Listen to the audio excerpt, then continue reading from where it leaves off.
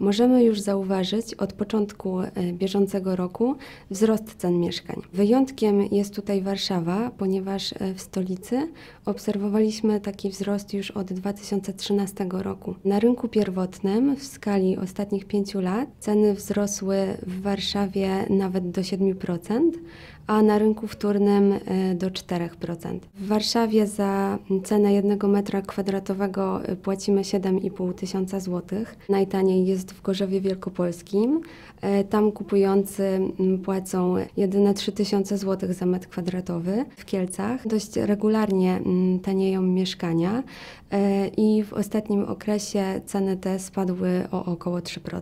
W największych miastach trudno jest mm, znaleźć e, taki ośrodek, gdzie zanotowalibyśmy w skali roku spadek cen.